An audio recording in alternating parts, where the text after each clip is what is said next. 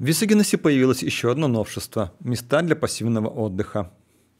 Э, как вы видите, за моей спиной ведутся работы окончательно. Это гамаки для пассивного отдыха. Э, ведутся работы, и уже завтра, в среду, они будут э, закончены. Так что приглашаем всех жителей испробовать, полежать, помедитировать, посмотреть на лампочки, которые сверху. Сколько всего таких гамаков у нас в Висагиносе будет оборудовано? Э, всего в Висагиносе их будет 5 штук. Э, на данный момент, то, что мы находимся на пляже, их будет 3 штуки.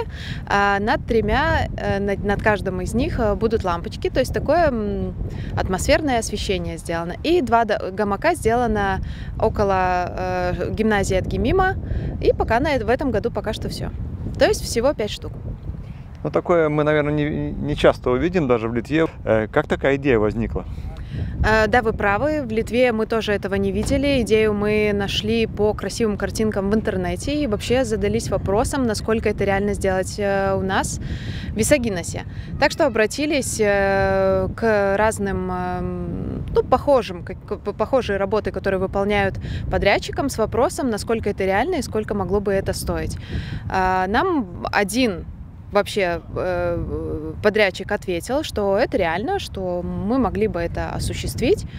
Вот так. А как идея зародилась? Вы знаете, каждый, э, каждый год, э, каждый час, не знаю, неделю мы планируем что-нибудь интересненькое. Ну, то есть э, детские площадки, э, как уже и сами э, э, жители говорили о том, что они, можно сказать, однотипные, то есть это домики, но это в связи с, с определенными стандартами, наверное, есть такой минус.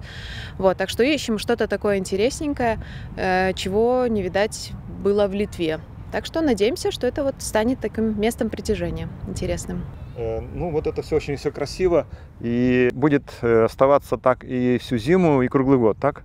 Да, вы правы. Э, эти территории не боятся света, ну точнее не территории даже, а получается, что натянутый канат, само собой, он металлический, он не будет бояться ни прямых солнечных лучей, ни осадков, то есть с ним ничего не станет. Точно так же и с натянутой сеткой.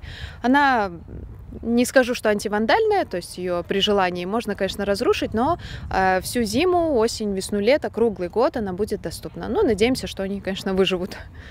Э, подсветка, она присоединена к общему освещению города, э, подпитывается от одного из столбов освещения, поэтому будет включаться вместе с основным освещением. Оно не будет регулироваться, но мы решили так, что э, летом в общем-то, эта подсветка не нужна. В темное время суток будет создавать такую уютную атмосферу. Работы уже близятся к завершению. И уже совсем скоро можно будет воспользоваться этим оригинальным украшением благоустройства нашего города. Общая стоимость работ составляет 8950 евро из средств бюджета самоуправления. Напомним, что это уже не первый проект, который делает наш город уютнее. Это и музыкальные инструменты на пляже, и веревочный парк, и загадка с азбукой Морзе на тротуаре улицы Сантервис. Что еще можно такое придумать, как вы думаете? Ну вот э, с этой целью, в общем-то, хотели бы к жителям обратиться. Если у вас есть какие-то идеи, предложения, может быть, чего-то вы видели, то есть, ну, очень много сейчас людей э, за границей бывают, путешествуют, вид, видят интересные идеи, э, были бы рады и очень открыты ко всем э, новшествам. Может быть, если у вас есть возможность и желание, предложите нашему городу что-то интересненькое, мы будем стараться воплотить это в жизнь. Э, мои контакты вы можете найти сейчас в видеоролике по электронной почте. Вы можете обратиться, если вам удобнее по телефону, позвоните. Э, можете просто словесно, можете картинки, можете фотографии э, выслать. Всему будем рады. Главное, чтобы понять, как, как эту идею осуществить.